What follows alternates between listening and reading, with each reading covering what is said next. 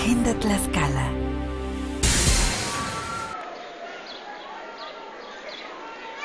Queridos hermanos, todos en Jesucristo, muerto y resucitado.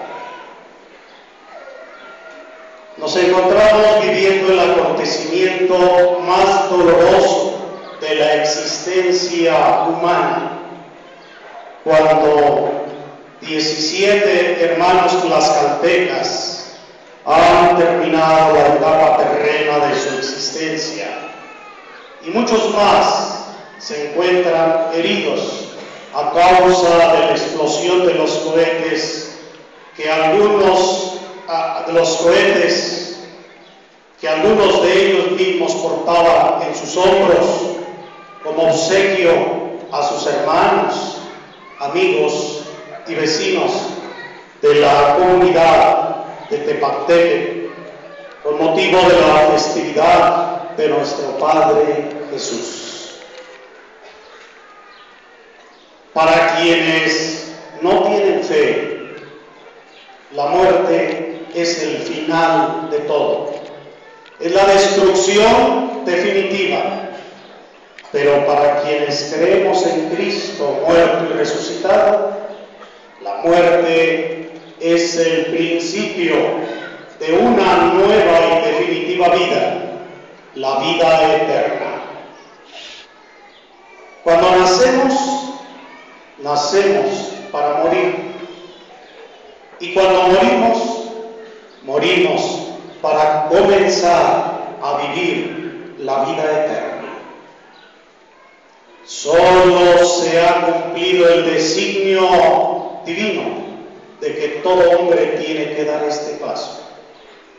Ahora lo han dado nuestros hermanos, algún día lo daremos cada uno de nosotros. No sabemos cuánto, ni dónde, ni cómo vamos a morir, pero estamos ciertos de que esta vida es pasajera, que somos peregrinos no tenemos nuestra morada definitiva aquí en la tierra. Podemos preguntarnos, ¿por qué ellos? ¿Por qué en este momento de su vida? ¿Por qué de esta manera? Y la respuesta última y definitiva es porque Dios así lo quiso, ya que no se mueve la hoja del árbol sin su voluntad, que se manifiesta también a través de nuestras obras que decidimos libremente.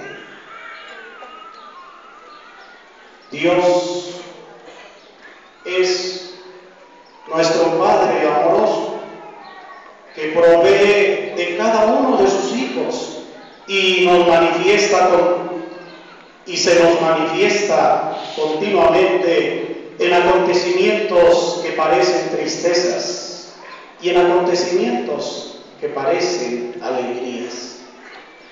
Hoy nos muestra su rostro en este doloroso acontecimiento, en esta aparente desgracia, como muchas veces se nos ha manifestado en el nacimiento de un ser querido, en los frutos de la tierra, en la obra admirable de la creación, en la fiesta y el compartir, en la sonrisa de un niño o en el amor de nuestros seres más queridos. ¿Quién tiene derecho a reclamarle si somos sus criaturas? La obra admirable que brotó de sus manos. Si Él nos sostiene a diario con su providencia admirable. Más bien, como Job, aquel personaje bíblico que alababa y bendecía a Dios en la abundancia y en la salud. Y que lo mismo hizo cuando Dios permitió que vinieran sobre él toda clase de desgracias, hemos de exclamar, el Señor me lo dio, el Señor me lo quitó. Bendito sea el nombre del Señor. Si recibimos de los bienes, ¿cómo no hemos de recibir también de Él los males? Todo hombre que a este mundo anhela realizarse y ser feliz. Y cuando parece que con el paso de los años vamos haciendo esas conquistas, viene la muerte y le arrebata lo que había conseguido con tanto esfuerzo. Ninguna criatura aquí en la tierra puede saciar nuestra hambre y nuestra sed de felicidad. La fama, el poder, el dinero, los placeres, solo nos ofrecen probaditas efímeras de felicidad. En nada podemos encontrar nuestra felicidad definitiva, sino solo en Dios, de quien venimos y a quien hemos de volver tarde o temprano, queramos o no. Por eso, hoy hemos de exclamar con San Agustín, nos creaste, Señor, para ti y nuestro corazón está inquieto hasta que descanse en ti. Queridos hermanos, los quiero invitar a vivir este acontecimiento con verdadero sentido de fe. Nuestra fe está puesta ante todo en Jesucristo muerto y resucitado nuestro Señor y Salvador, que derramó su sangre preciosa por nosotros para rescatarnos del pecado y de la muerte. Hoy ponemos nuestra mirada y nuestro corazón. Creo en ti, Jesucristo, Hijo de Dios, mi Señor y Salvador, como creyeron en ti estos hermanos nuestros que ahora están definitivamente en la presencia del Padre Celestial.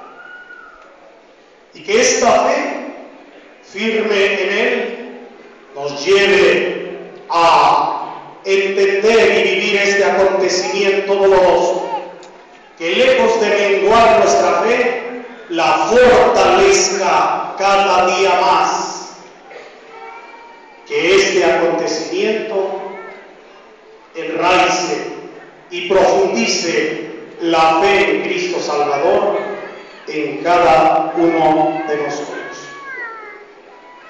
Pero también los invito a vivir este acontecimiento llenos de esperanza.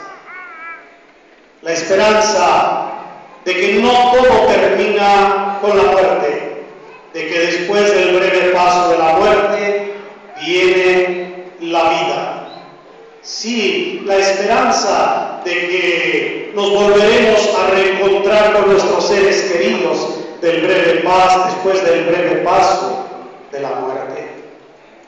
Hoy avivemos nuestra esperanza en la resurrección del último día, cuando nuestra alma se volverá a juntar con su propio cuerpo para nunca más morir.